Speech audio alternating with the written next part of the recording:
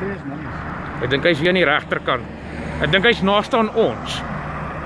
Ja, hy's naaste aan ons. So die naaste een is Marnus.